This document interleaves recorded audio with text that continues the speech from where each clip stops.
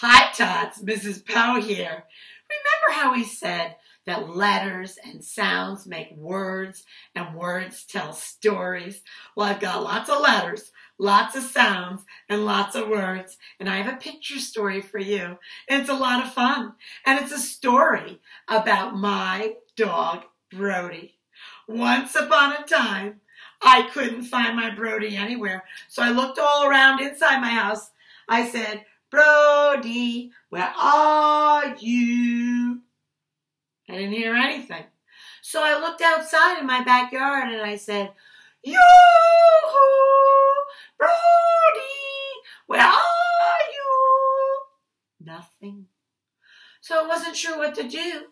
So I decided to walk down my street a little bit to the park that was at the end of my street. And so here I am walking down the street, I thought I would go and look for Brody. And when I got to the park, I saw some people there. And I said, Excuse me, have you seen my dog Brody? And they said, No, we haven't. And I said, Okay. Brody, where are you? Didn't see him anywhere. Well, before you know it, these bumblebees were swarming around me. There were some on one side of me, and there were some on the other side of me. Ooh, ouch. Ooh, go away.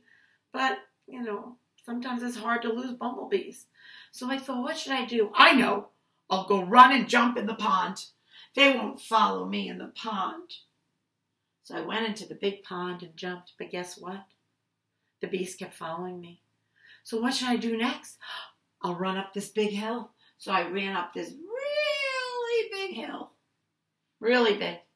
And at the top, there were two doors. And each door had a doorknob.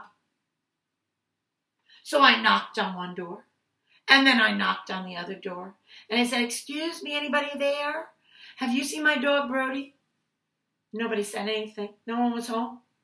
So then I ran down one hill. And then I ran down the other hill. And I said, Excuse me, anybody? Has anyone seen my dog, Brody? And they said, Yes. Yeah. He's right here. Ta da! That was a silly story, right?